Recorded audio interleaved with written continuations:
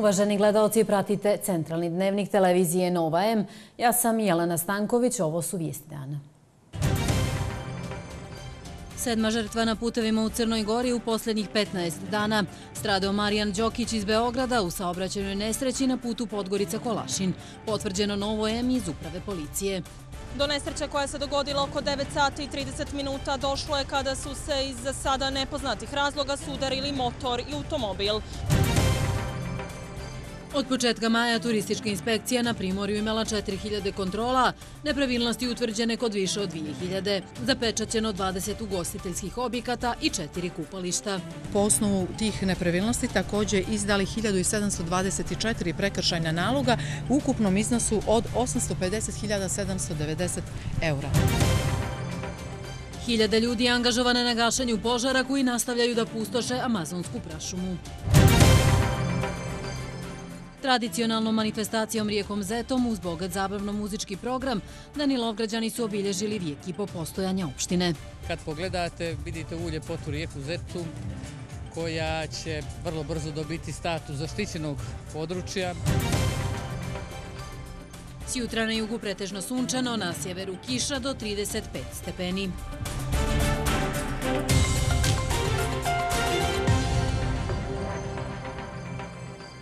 Marijan Đokić iz Beograda stradao je u saobraćenoj nesreći koja se dogodila na putu Podgorica Kolašinu u mjestu Bioče. Potvrđeno je našoj televiziji iz OKC-a uprave policije.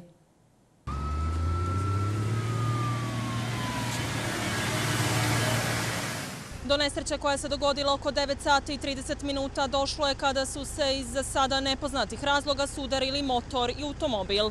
Odječine udara motor je sletio u kanjon Morače. 30-godišnji državljanin Srbije Marijan Đokić koji je upravljao motorom stradao je na licu mjesta. Saobraćaj na putu Podgorica Kolašin obustavljen je do završetka uviđaja. Da podsjetimo, posljednjih desetak dana na crnogorskim drumovima bili su više nego alarmantni, jer je od 15. avgusta 12 ljudi zadobilo teške povrede, više od 20 ih je hospitalizovano, a čak 7 osoba je stradalo. U izvještaju za 2018. policija je jasno identifikovala da je ljudski faktor glavni uzrok najvećeg broja saobraćajnih nesreća. Uporedni podaci za tu godinu pokazuju da je saobraćajnih nezgoda bilo 3,4 odsto više, a po svemu sudeći taj procenat bit će loš i u 2019. A u Nikšiću su uhapšeni Radovani Pero Mujović, Radosa Vukčević, Milena Kankara, Šađa i MM. Tokom kriminalističke obrade policija je pronašla i oduzela 93 kg marihuane, koja je, kako se sumnja, bila namjenjena krijumčarenju preko graničnog prelaza Vraćenovići između Crne Gore i Bosne i Hercegovine. Zbog postojanja osnovane sumnje da su počinili krivično dijelo stvaranje kriminalne organizacije i obavljali neovlašćenu proizvodnju, držanje i stavljanje u promet opojnih droga, uhapšeni su RM, RV, Ađ, PM, MK, svi iz Nikšića i MM iz Beograda, državljanin Republike Srbije, U prethodnom periodu Slobode je lišen JB iz Beograda zbog postojanja osnovane sumnje da je počinio krivično dijelo neovlašćena proizvodnja, držanje i stavljanje u promet opojnih droga, a za kojeg se sumnja da je član ove kriminalne organizacije. Sumnja se da je RM osnovao kriminalnu organizaciju koja je neovlašćeno stavljala u promet opojne droge radi sticanja nezakonite dobiti. Članovi kriminalne organizacije su, kako se sumnja, djelovali po unaprijed određenim zadacima, a kriminalno djelovanje planirali i sprovodili na regionalnom nivou duži vremenski period. Policije poznat identitet lica koja su upotrijebila vatreno oružje u Pucnjavi, koja se sinoć dogodila na bulevaru Stanka Radonjića, kao i vozilo sa kojim su se udaljili sa lica mjesta. Policija, kako su nam kazali, intenzivno traga za njima. U Pucnjavi nije bilo povrijeđenih. A policija u Baru uhapsila je GO iz tog grada zbog sumnje da je počinio krivično dijelo razbojništvo i krivično dijelo nedozvoljeno držanje oružja i eksplozivnih materija. Naime, sinoć oko 23 sata policija je prijavljeno kako je nepoznata maskirana muška osoba uz prijetnju pištoljem od dva radnika hipermarketa u Baru otuđila veću količinu novca i udaljila se u nepoznatom pravcu. GO koji je inače zaposlen u navedenom hipermarketu je, kako se sumnja, krivična dijelo dijela počinio na način što je maskiran ušao u kancelariju marketa i uz prijetnju pištoljem od dva zaposlena lica otuđio novac u iznosu od 18.600 eura, nakon čega se udaljio u nepoznatom pravcu. O događaju je obavješten državni tužilac u Višem državnom tužilaštvu u Podgorici.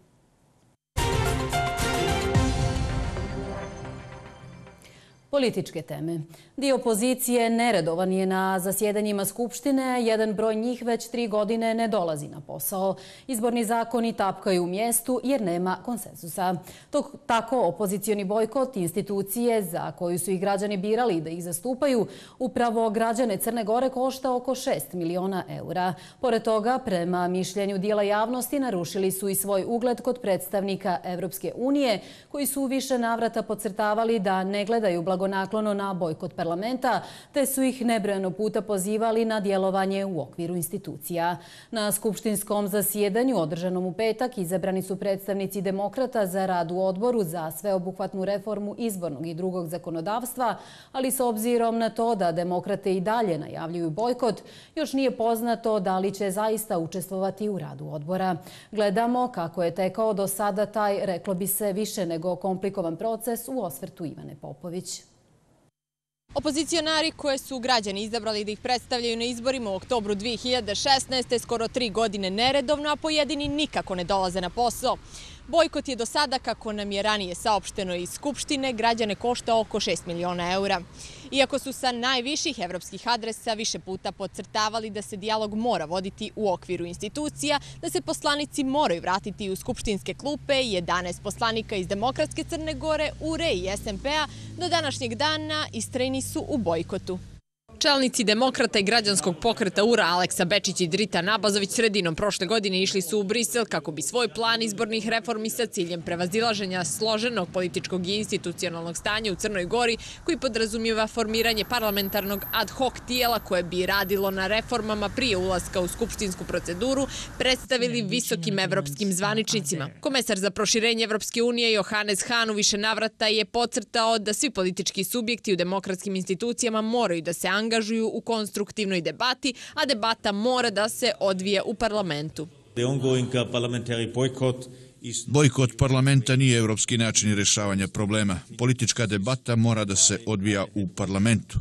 Vladajuća demokratska partija socijalista pokazala je demokratsku volju i političku zrelost, pa su krajem oktobra 2018. usvojili odluku o obrazovanju odbora za reformu izbornog i drugog zakonodavstva, kako bi se došlo do najboljih izbornih rješenja za izbore koje će biti održani na jesen naredne godine. Izborni zakoni međutim tapkaju mjestu, jer prema mišljenju analitičara nema opozicijone političke volje, a odbor je do sada održao samo dvije sjednice, na kojima se nijesu pojavili predstavnici demokrata i URE koji sada uporno insistiraju na formiranju takozvane prelazne vlade. I predsjednik Crne Gore Milo Đukanović više puta je poručio da opozicija odbija da se suoči s političkom realnošću te da pribjegava obstrukcijama. Opozicija odbija da se suoči sa svojim likom u ogledalu, odbija da se suoči sa političkom realnošću, e, pribjegava obstrukciji e, e, institucija i obstrukciji političkog i demokratskog života u Crnoj Gori i onda se, naravno, u oči izbora pojave spasioci sa formulama dajmo prelaznu vladu, da još malo popravimo svoj značaj, jer ne odgovara nam to što imamo rating 3% ili nešto ispod 3%, pa bismo sad htjeli da zadržimo svoj privid o većem političkom značaju i još ako bi kako moglo, da posle nema ni izbora, nego da prelazna vlada nastavi, ako je moguće, traje cijel E pa ne može. Da je vladajuća demokratska partija socijalista spremna da izađe sa rješenjem koje bi obezbijedilo politički dijalog i konsenzus te dovelo do izbora u koje će povjerenje imati i građani i političke partije, kazao je i premijer Duško Marković. Podsjetio je da je od početka mandata pozivao opoziciju da uđe u vladu te da se vrati u parlament i učestvuje u pripremi izbornog zakonodavstva. I nakon toga ta, razgovaramo i o modelu koji će obezbijediti e, ispunjavanje tih izbornih uslova, odnosno zakona koji budu u parlamentu, u parlamentu kreirani. Krajem jula šef delegacije Evropske unije u Crnoj Gori, a Ivo Orav, uključio se u proces oko sastava i rada odbora za reformu izbornog i drugog zakonodavstva. Nakon sastanka koji je, kako su pisali mediji, održao sa predstavnicima demokrata, Orav se sastao i sa predsjednikom Skupštine Ivanom Brajevićem te dogovorio posebnu sjednicu na kojoj će se raspravljati o izmjenama odluke o formiranju odbora za reformu izbornog zakonodavstva. Sjednica je održana 31. jula i usvojene su izmjene. Predstavnici demokrata i URE, međutim, nije su se pojavili ni na zasjedanju, koje su na neki način sami inicirali. Osim ovoga, kako je veći dio javnosti zaključio konfuznog ponašanja pojedinih predstavnika opozicije, još u toku skupštinske rasprave, poslanici Demokratskog fronta počeli su s optužbama da demokrate Alekse Bečića navodno šuruju sa vladajućom Demokratskom partijom socijalista. I šta imamo danas? Jedna opozicijona grupacija, demokrate Alekse Bečića, bacaju opozicijoni sporazum pod noge i prihvataju dogovor sa DPS-om i kao alternativu tehničkoj vladi predlažu neki nadzorni odbor. Da li vas, gospodo, ovo posjeća na duh pozitivne Crne Gore i Darka Pajovića? Taj duh Darka Pajovića u liku Alekse Bečića danas se osjeća u ovom parlamentu. Iz partije Alekse Bečića uzvratili su istom mjerom te optužili DF za identičnu stvar, navodnu saradnju sa DPS-om. Također, demokrate su skrenule pažnju na oštru kampanju fronta protiv njihove partije. Pucni DF-a iz zarađalih vremešnih oružja predstavljaju samo političke čorke i emituju očajničke zvuke onih koji nestaju sa političke pozornice. Šef delegacije Evropske unije u Crnoj Gori, Ivo Orav, izrazio je zadovoljstvo u izjavi za vijesti izmjenama usvojenim u parlamentu, a u vezi odbora za reformu izbornog zakonodavstva. Istakao je da je dijalog jedino rješenje da se mora raditi na izbornom zakonodavstvu, te je ponovio da Evropska unija ne gleda blagonaklono na bojkot parlamenta. Odluka donesena u parlamentu je bila veoma važna iz ugla Evropske unije i veoma ciljena jer otvara put za sve strane da učestvuju u radu odbora za sveobuhvatnu reformu izbornih i drugih zakona, tako da izbori 2020 budu spremljeni što savršenije je moguće. Konačno na sjednici Skupštine održanoj sad u petak 23. avgusta poslanici demokrata Momo Koprivice i Danilo Šaranović izabrani su za članova odbora za reformu izbornog zakonodavstva. Ova saga se po svemu sudeći neće baš tako lako privesti kraju. Već u septembru može se očekivati zakazivanje sjednice odbora na koju bi se mogli pojaviti poslanici demokrata koji već skoro tri godine bojkotuju rad parlamenta. Za sada je sve neizvjesno. Ostale teme. Turistička inspekcija je od početka ljetnje turističke sezone imala oko 4000 kontrola, gdje su kod njih polo utvrđene određene nepravilnosti. Naša ekipa provela je dan sa turističkom inspekcijom i provjerila šta su najčešće nepravilnosti, ali koliko je do sada zatvoreno ugostiteljskih objekata. Dobar dan, turistička inspekcija, uprave za inspekcijske poslove. Radit ćemo rada o nazor kupališta. Potrebnu papirologiju imate? Imamo, izvolite. Hvala. U pitanju je kupalište 4A2. 4A2. Od početka maja turistička inspekcija je na Primorju imala skoro 4000 kontrola, gdje su utvrđene nepravilnosti kod nešto manje od 2500. Do sada je, kaže glavna turistička inspektorka Svetlana Šljivančanin, zapečaćeno 20 ugostiteljskih objekata i 4 kupališta po osnovu tih nepravilnosti također izdali 1724 prekršajna naloga u ukupnom iznosu od 850.790 eura. Zbog rada bez odobrenja, turistička inspekcija je ove sezone izrekla kazne u iznosu od oko 50.000 eura. Značajne nepravilnosti uočene su u dijelu organizacije spasilačke službe na plažama. Zakonom je predviđeno da tokom jula i avgusta na plažama na svakih 50 metara postoji po jedan spasilac. Mi sada imamo negdje oko 600 licenciranih spasilaca, što znači da to ipak nije dovoljno da e, pokrije znači, sva naša kupališta koja su stavljena u funkciju. Šljivančanin kaže i da su kažnjavani zakupci koji nijesu poštovali pravilo da pola plaže mora biti oslobođeno od mobilijara iz turističke inspekcije podsjećaju i da je zakupac dužan da navede vrijeme naplate plažnog mobilijara, što znači da zakonom nije predviđeno da to bude do 17 sati.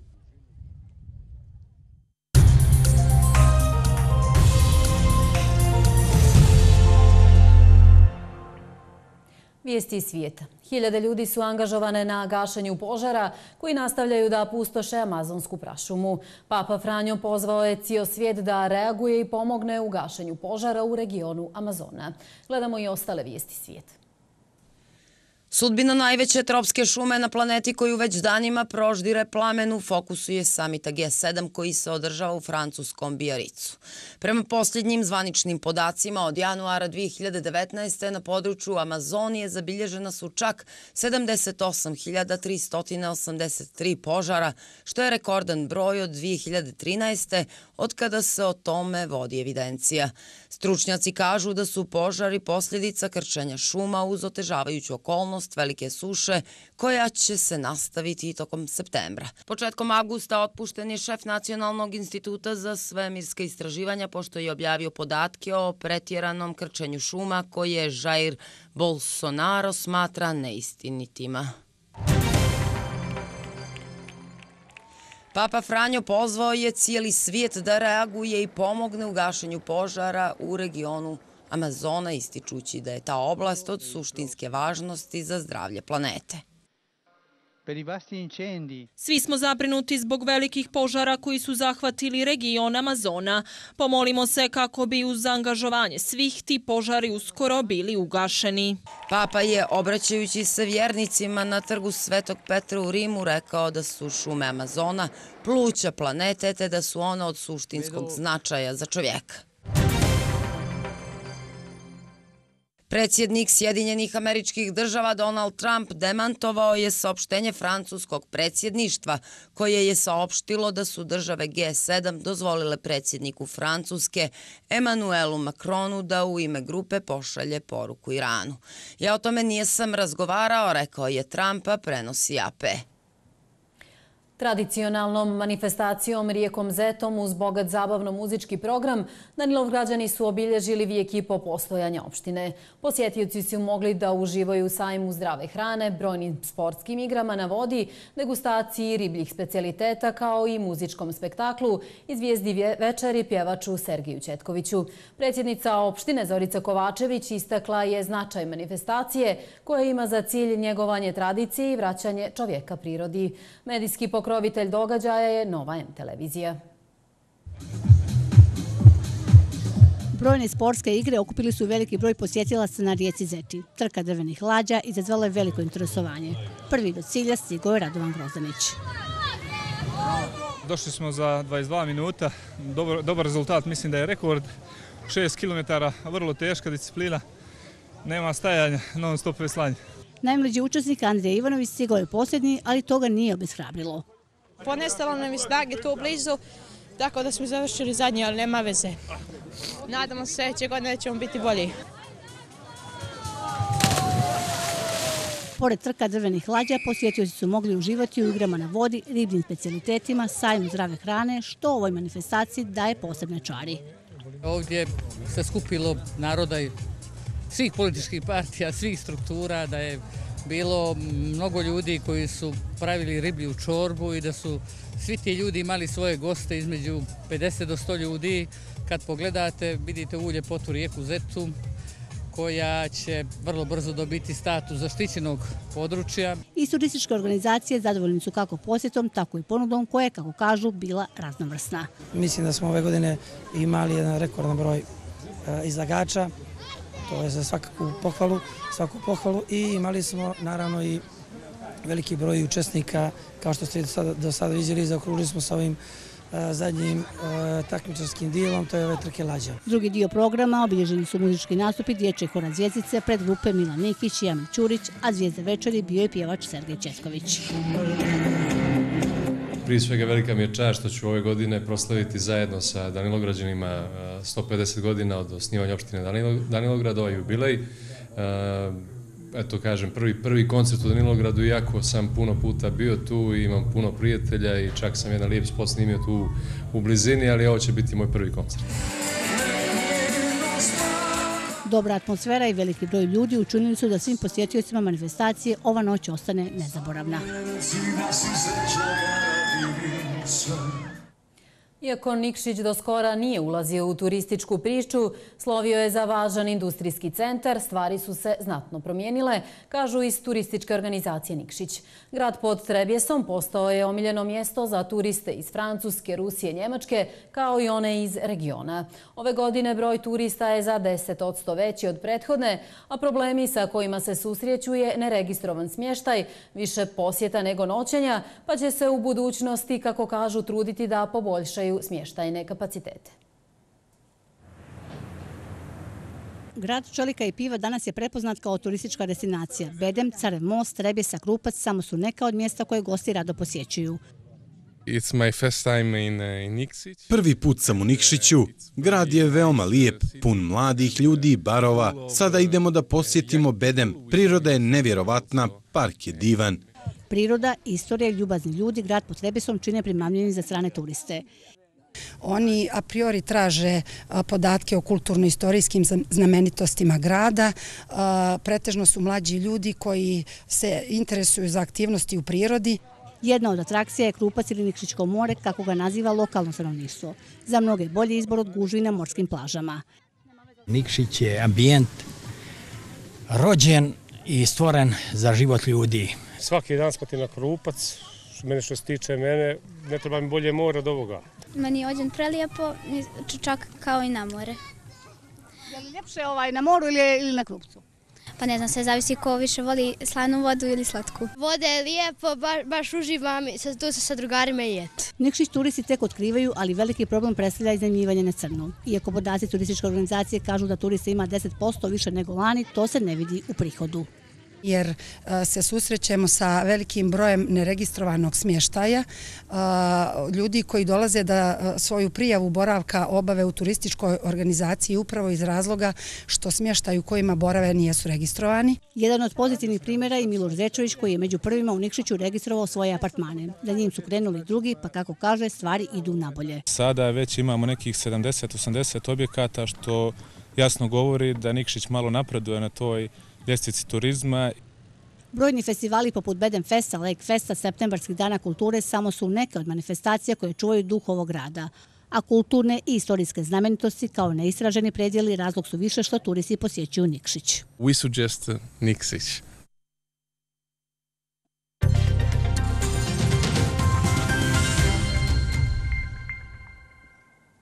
Vijesti sporta pripremio je kolega Milosav Milatović. Milosave, kako su danas prošli naši košarkaši? Jelena Crveni su poraženi od Nigerije u drugom pripremnom meču. Crnogorska košarkaška reprezentacija poražena je od Nigerije 89-86 u drugom meču turnira u Kini, gdje se naši košarkaši spremaju za Mundo Basket. Ništa od druge vezane pobjede naših najboljih košarkaša koji su deživili četvrti poraz u pet pripremnih mečeva. Nakon triumfa nad Iranom, naš tim je u zanimljivom meču izgubio od afričke selekcije, iako je tokom druge četvrtine vodio sa 13 poena razlike i imao plus 8 na polovremenu. Tokom treće četvrtine probudili su se Nigerici, preokrenuli na 69-63, ali je ponovo ekipa Zvezdana Mitrovića do polovine završene dionice imala plus 5 Finiš je ipak pripao Nigericima koji su na kraju slavili sa tri poena prednosti. Jedna izuzetno zahtjevna atletska utakmica. Ovaj, bilo je tu stvarno dobrih momenta i bilo je jednog borbe gdje je Nigerija odigrala mnogo, mnogo bolje, kvalitetnije, ozbiljnije nego prošlu utakmicu s Poljskom. Ekipa, sami znate, sa 5-6 NBA igrača, uglavnom američka škola, tvrdo, brzo. Ovaj, mi smo isprobavali sve, odbrane, napade. Uh, jedina loša stvar što je, to je povreda Nikola Ivanovića skoči lob. Nadam se da nije ozbiljna, što je možda uticalo i na, na, na, na, na krajnji rezultat u toj u tijeli organizacije, jer je Derek Nedam dobio pet faulova i onda smo ostali bez tog nekog glavnog organizatora igre. Najefikasniji u crnogorskom timu bili su Bojan Dubljević sa 20 i Nikola Vučević sa 15 pojena. Utakmicom budućnost Zeta koja počinje u 19 časova danas će biti kompletirano peto kolo domaćeg futbalskog šampionata. Plavi su jedina ekipa sa maksimalnim učinkom i ukoliko slave dodatno će se udaljiti na tabeli od aktuelnog šampiona Sutjeske koja je poražena juče na svom terenu od Podgorice 2-1. U ostalim mečevima OFK Titograd je bio bolji od koma 3-1 Iskra je savladala Rudar 2-0, dok je Petrovac u gostima bio bolji od Grblja 2-1. A najveći regionalni događaj sve popularnijih mješovitih borilačkih vještina održat će se na Kanli Kuli sa početkom u 20 časova 7. septembra. A šta nam on donosi, pogledajmo u prilogu Jovane Mićević. Nakon osam uspješno realizovanih slijedi i deveto po redu MMA takmičenje. Ljubitelji najbrže rastućeg sporta u svijetu biće u prilici da uživaju u pravom borilačkom spektaklu.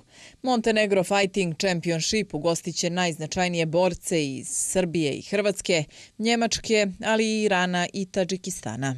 MMA Zabilo će predstaviti četiri borce. Debituje Žarko Janković. U amaterskom programu radit će Ivan Todorović, ujedno i trener mlađih ovih kategorija u MMA tim Zabjelo.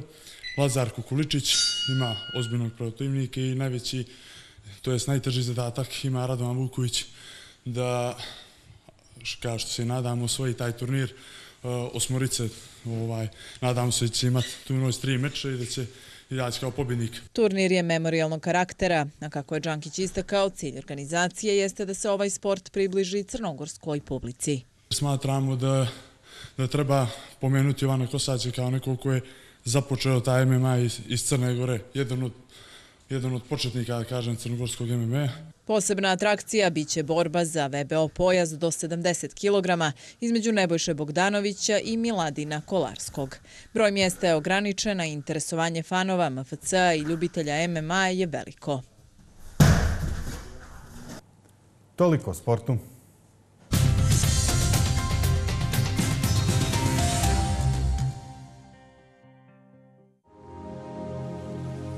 Sutra će nebo iznad vulkana biti pretežno sunčano, samo će ponegdje u drugom dijelu dana biti moguća slava kiša.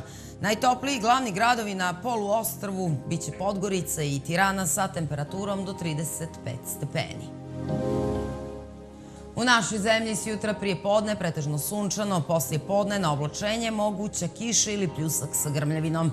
Vjetar uglavnom slab do umjeren promjenljiv. Najviša dnevna temperatura od 23 do 36 stepeni.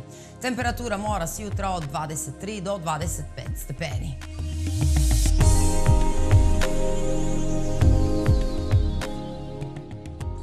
Ponedjeljak će u glavnom gradu biti promjenljiv. Prije podne pretežno vedro, poslije podne umjereno oblačno, moguća kiš ili pljusak sa grmljavinom. Vjetar slab do umjeren, promjenljiv. Jutarnja temperatura 21, najviša dnevna do 35 stepeni.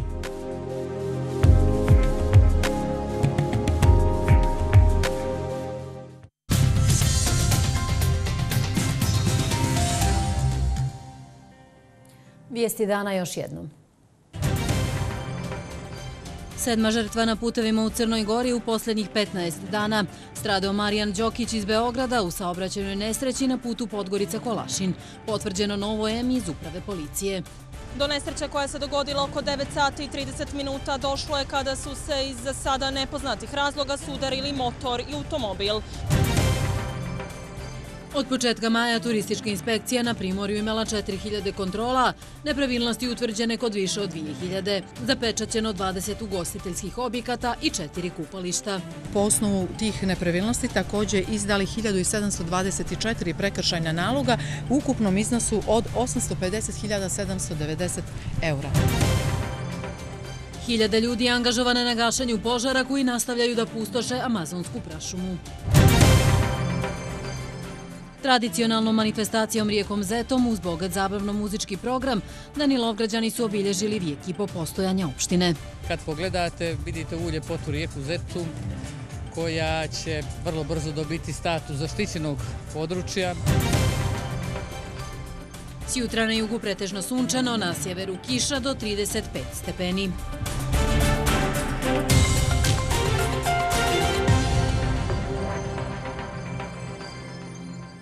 Gledali ste centralni dnevnik, slijede serije Larin izbor i Strasti orijenta. Hvala vam na pažnji i prijatno večer.